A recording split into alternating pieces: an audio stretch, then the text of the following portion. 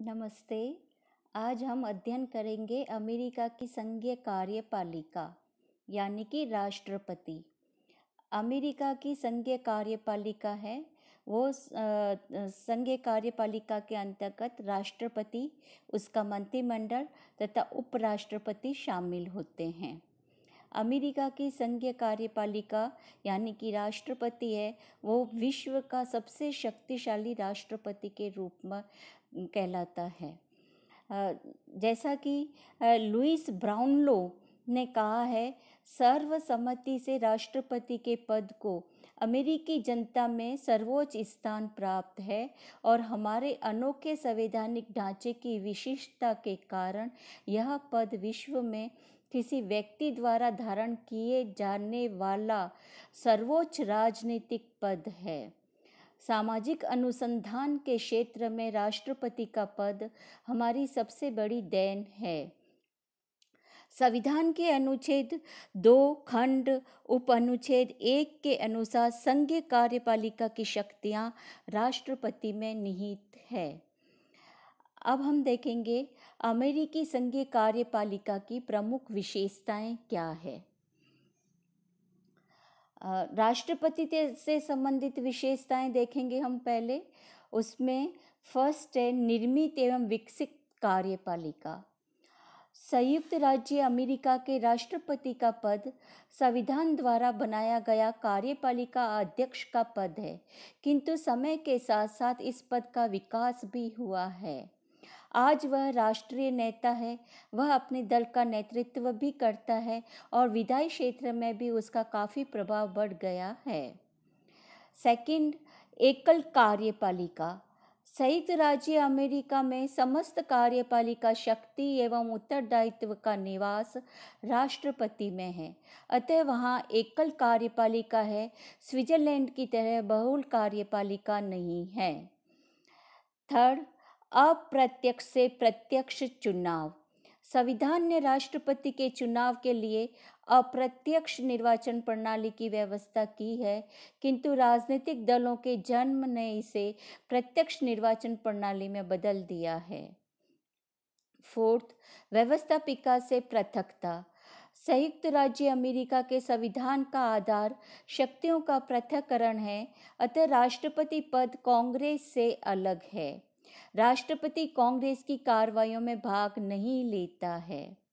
Next कार्यपालिका से भिन्न कार्य व शक्ति। संविधान ने गतिरोध व संतुलन के सिद्धांत के अंतर्गत राष्ट्रपति को कार्यपालिका से भिन्न कार्य व शक्तियाँ भी सौंपी है।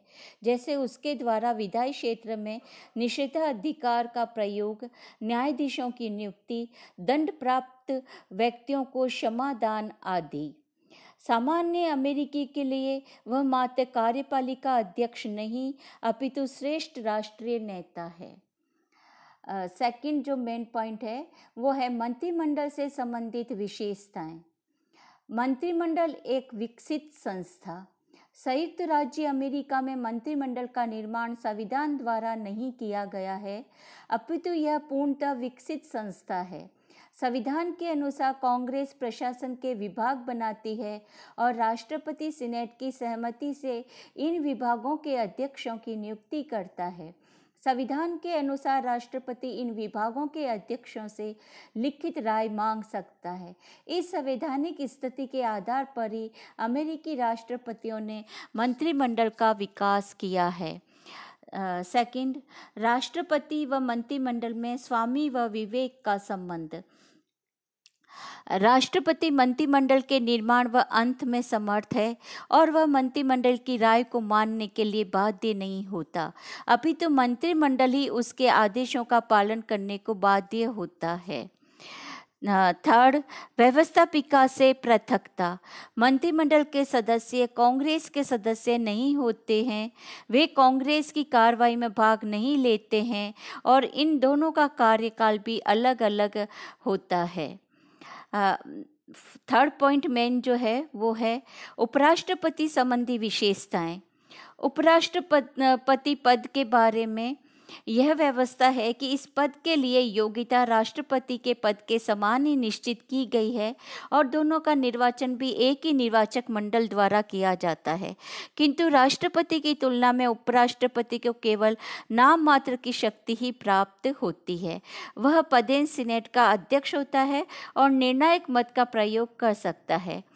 किन्हीं कारणों से यदि समय पूर्व राष्ट्रपति पद खाली होने पर वह राष्ट्रपति के समस्त अधिकारों का प्रयोग कर सकता है। अब हम देखेंगे राष्ट्रपति पद का संगठन।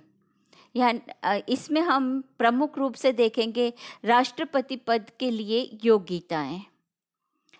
संविधान के अनुसार राष्ट्रपति के पद के लिए उम्मीदवार में ये योग्यताएँ होनी चाहिए वह संयुक्त राज्य अमेरिका का जन्मजात नागरिक हो। उसकी आयु 35 वर्ष से कम न हो। वह अमेरिका में कम से कम 14 वर्ष ज़रूर रहा हो। वह दिवालिया न हो, पागल न हो और किसी गंभीर अपराध में सजा प्राप्त न हो। इसके पश्चात हम देखेंगे राष्ट्रपति का चुनाव।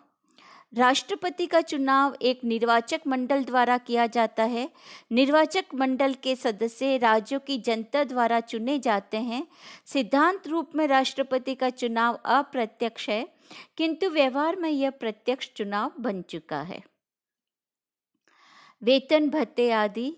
राष्ट्रपति के वेतन भत्ते आदि की व्यवस्था संविधान द्वारा नहीं की गई है, अपितु कांग्रेस ने समय समय पर इस बारे में कानून बनाए हैं।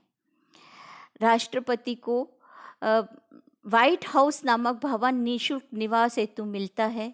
इसके अलावा उसकी यात्रा, सरकारी भोज, स्वागत आदि के लिए बजट में अलग अलग व्यवस्था रही है। उसे एक कार, हवाई जहाज़ व छोटा जलयान भ्रमण हेतु मिलता है। सेवानिवृत्त होने के बाद उसे सालाना पेंशन मिलती है। उन्मुक्तियाँ एवं विशेषाधिकार। कार्यकाल के दौरान राष्ट्रपति पर कोई मुकदमा न्यायालय में नहीं चलाया जा सकता है और न उसे किसी गवाही के लिए न्यायालय में आमंत्रित किया जा सकता है। केवल कांग्रेस ही उसके विरुद्ध महाभियोग की कार्रवाई करके और पद से विमुक्त कर सकती है। कार्यकाल एवं पद मुक्ति राष्ट्रपति का कार्यकाल चार वर्ष है, किंतु इससे पहले वह स्वयं त्यागपत्र दे सकता है। मृत्यु के कारण भी यह पद रिक्त हो सकता है और महाभियोग द्वारा भी उसे पद से हटाया जा सकता है। राष्ट्रपति के कार्यकाल के बारे में बाईसवा संशोधन महत्व, महत्वपूर्ण है, जिसमें कहा गया है कि जो व्यक्ति दो बार राष्ट्रपति पद के लिए चुना जा चुका है, वह तीसरी बार चुनाव नहीं लड़ेगा। किंतु युद्ध काल में कांग्रेस उससे तीसरी बार चुनाव लड़ने का आग्रह कर सकती है। यदि किसी उपराष्ट्रपति ने समय पूर्व रिक्त राष्ट्रपति पद पर कार्य किया है तो वह पहली बार तो राष्ट्रपति का चुनाव लड़ सकता है और इस पद पर कार्य कर सकता है। किंतु दूसरी बार चुनाव तभी लड़ सकता है, जबकि राष्ट्रपति के रूप में उसका कुल कार्यकाल दस वर्ष से अधिक न बैठता हो। राष्ट्रपति का उत्तराधिकारी। राष्ट्रपति पद के उत्तराधिकार के संबंध में सन 1967 में 25वां संवैधानिक संशोधन पारित किया गया है और इस संवैधानिक संशोधन में दो बातें कही गई है। फ़र्स्ट, त्यागपत्र मृत्यु अथवा पदच्युति के कारण रिक्त हुए राष्ट्रपति पद पर उपराष्ट्रपति की नियुक्ति होगी। और दूसरा पदासीन राष्ट्रपति के रहते उपराष्ट्रपति का पद रिक्त होने पर राष्ट्र, राष्ट्रपति द्वारा एक उपराष्ट्रपति नियुक्त किया जाएगा। किंतु वह अपना पद तभी ग्रहण करेगा जब कांग्रेस के दोनों सदन उसके नाम पर अपनी सहमति दे देंगे। धन्यवाद।